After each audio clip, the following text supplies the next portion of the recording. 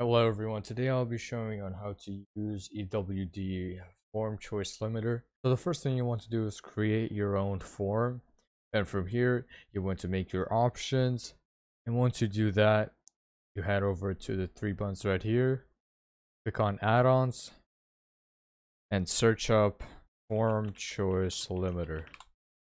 And you should see it right here. So once we click on install I'll ask for permission and once you click on allow you want to exit out of this window. Go over here at the top right on add-ons. Click on form choice limiter. And from here click on configure. This is where you will be adding the limiters to your options. So as you can see right here at the top it says notify me on any choice limit is reached so what it will do is it will send you an email of when one of your options reached its limit. So you can check that or even uncheck it. And if you check that box, you're going to want to type in your email right here. And from here, this is where, I'll, where we'll be putting our limits here. So as you can see, I already put a limit for June 10th at 4 p.m.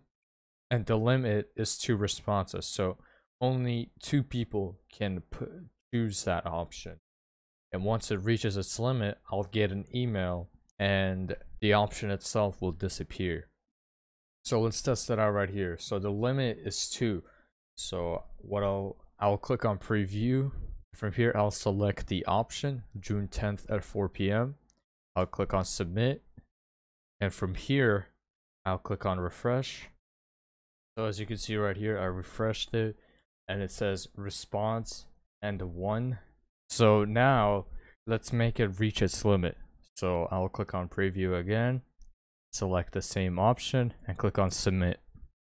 Once I do that, as you can see, the option disappeared. And if I click on refresh, the option will disappear because it reached its limit.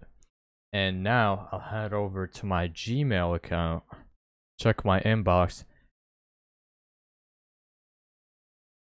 and once I refresh it you we can see right here it says schedule presentation choice option limit reached.